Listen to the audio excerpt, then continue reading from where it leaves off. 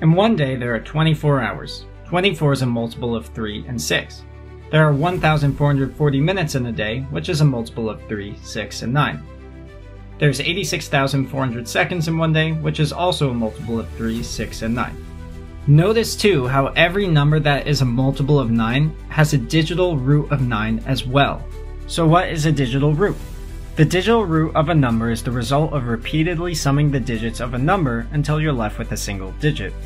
So in the case of 1440, we add 1 plus 4 plus 4 plus 0 to get 9, and with 86,400, we add 8 plus 6 plus 4 plus 0 plus 0 to get 18, and then we add 1 plus 8 to get 9 again.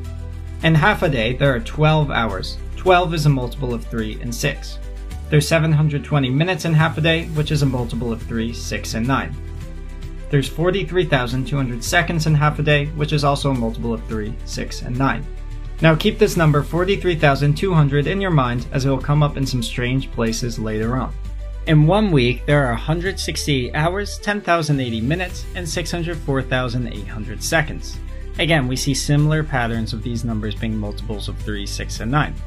In one 30 day month, there are 720 hours, 43,200 minutes, and 2,592,000 seconds. Notice how, since all of these numbers are multiples of 9, they have a digital root of 9 as well. In one year, there are 8,760 hours, 525,600 minutes, 31,536,000 seconds, and 12 months. Again, we see similar patterns within these numbers of being multiples of 3, 6, or 9.